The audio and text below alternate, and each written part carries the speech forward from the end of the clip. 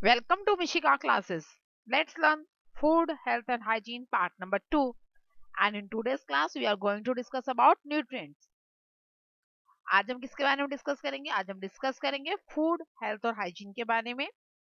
और इसमें हम क्या टॉपिक डिस्कस करने वाले हैं? न्यूट्रिएंट्स के बारे में। If you like the video please like it share it and subscribe my channel first of all what is nutrients nutrients किसे कहते हैं? न्यूट्रिएंट्स कहाँ प्रेजेंट होते हैं? न्यूट्रिएंट्स क्या करते हैं? इसके बारे में डिस्कस करेंगे। It is present in food nutrients कहाँ प्रेजेंट होते हैं? हमारे फ़ूड में, हमारे खाने में प्रेजेंट होते हैं न्यूट्रिएंट्स अब बात आती है वो क्या करते हैं? It help our body to grow and function properly वो हमारी बॉडी की हेल्प करते हैं किसमें ग्रो करने में. और हमारे बॉडी की चाहे वो इंटरनल ऑर्गन्स है या फिर एक्सटर्नल ऑर्गन्स है, सभी की फंक्शनिंग प्रॉपरली हो, इसका भी कौन ध्यान रखता है? न्यूट्रिएंट्स कैसे करते हैं? वो एनर्जी देते हैं हमारे बॉडी ऑर्गन्स को, और जिसकी वजह से वो अपना वर्क प्रॉपरली कर पाते हैं।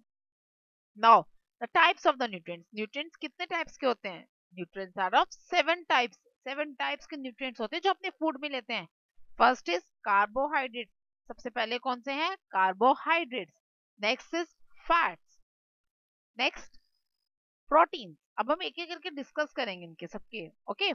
After that vitamin carbohydrates, fats, proteins, vitamins, minerals, water, roughage. These all are the seven types of nutrients present in our food.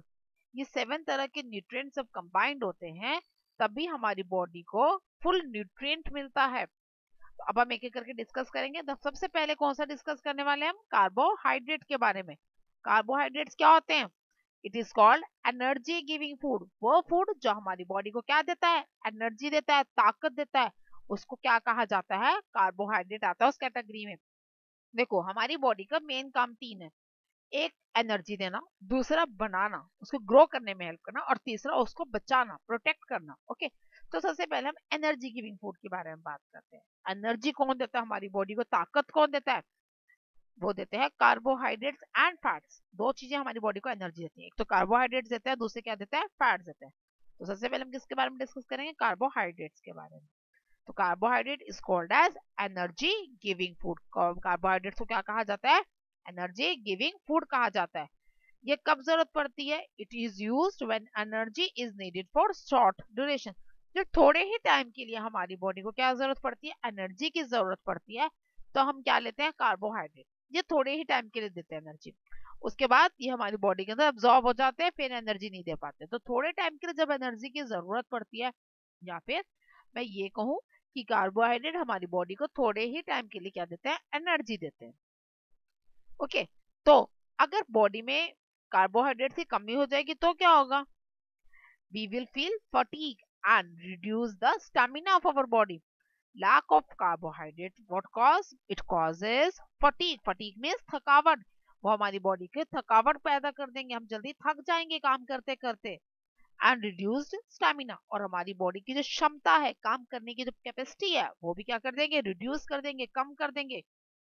तो कार्बोहाइड्रेट्स क्या कॉज करते हैं? एक तो हमारी बॉडी में थकावट पैदा कर देते हैं। अगर ये कमी रहेगी हमारी बॉडी में कार्बोहाइड्रेट्स की तो क्या पैदा कर देंगे? थकावट। और दूसरा क्या कर देंगे? हमारी बॉडी की जो क्षमता है उसको रिड्यूस कर देंगे, उसको कम कर देंगे। It is in the form of sugar and starch ये हमारी बॉडी में दो फॉर्म से प्रेजेंट होते हैं। क्या किस किस के फॉर्म में? शुगर और स्टार्च वैसे तीन तरह के कार्बोहाइड्रेट्स होते हैं। Sugar starch and cellulose but human bodies जो है, वो सेलुलोज को मतलब डाइजेस्ट नहीं कर सकती है। वो एनिमल जो रूमिनेंट्स होते हैं रूमिनेंट्स कौन होते हैं? कैटल्स यानी कि काउ ऑक्स गॉड ये जो घास खाते हैं प्लांट्स खाते हैं बेसिकली ग्रीन कलर के जो ग्रास को एज इट इज़ ईट कर लेते हैं without any cooking that can digest only cellulose वो ही सेलुलोज को डाइजेस्ट कर सकते हैं ओके तो we can't eat we can't digest grass as it is हम सब ग्रास को ऐसे नहीं खा सकते ना, नहीं डाइजेस्ट कर सकते ना हम घास को ऐसे। तो we can't intake cellulose in our diet तो हम सेलुलोज को अपनी डाइट में नहीं ले सकते हैं। मीन्स हम ग्रास को ऐसे नहीं खाएँगे। अगर खाएँगे तो what will happen we will get ill हम बीमार पड़ जाएँगे। So what we have to take हम कौन कौन से टाइप के लेते हैं carbohydrates we take carbohydrates of two types the sugar and the starch हम शुगर और स्टार्च को लेते हैं। तो what is sugar and what is starch sugar किसे कहते हैं? स्टार्च किसे कहते हैं? Sugar is sweet in taste जो चीज़ मीठी होती है खाने में, उसको क्या कहा जाता है?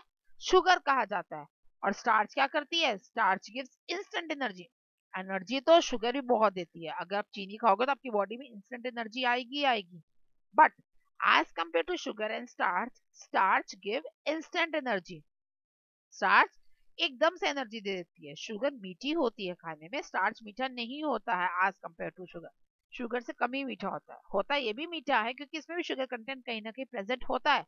बट जब दो चीज़ों का कंपैरिजन किया जाए तो sugar is more sweet than starch sugar ज़्यादा मीठा होता है स्टार्च के कंपैरिजन में ऐसे ही starch give more energy than sugar starch ज़्यादा एनर्जी देता है शुगर से। तो किसी की कहीं एडवांटेज किसी की कहीं advantage okay now we are going to discuss the sugar sources sugar sources क्या क्या है? The fruits the honey the juice the chocolates is this all are the sugar sources ये सब के सब क्या है? शुगर सोर्सेज है। Next are the starch sources starch किस किसमें प्रेजेंट होता है?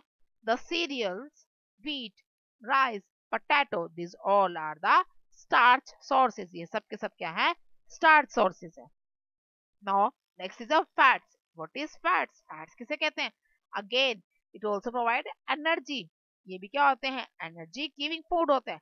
It is also called as energy giving food fats भी हमें क्या देते हैं? एनर्जी देते हैं। अब कार्बोहाइड्रेट जो हमें एनर्जी दे रहे थे that is for the short duration वो थोड़ी देर के लिए दे रहे थे। But fats gives us energy for long duration लेकिन जो फैट्स हैं, वो हमें ज़्यादा देर के लिए एनर्जी देते हैं। It gives energy for long duration वो ज़्यादा देर के लिए जो एनर्जी देता है, उसे क्या कहा जाता है? फैट्स कहा जाता है। अब बात की जाए फैट्स क्या करते हैं? फैट्स कहाँ डिपॉजिट होते हैं? Fat deposit under the skin वो हमारी स्किन के अंदर डिपॉजिट होते हैं। इनको स्किन की जो लेयर होती है, जो जो कार्बोहाइड्रेट्स हैं, वो तो हमारे लीवर में जाके स्टोर हो जाते हैं, हमारे डाइजेस्टिव सिस्टम में जाके स्टोर होते हैं।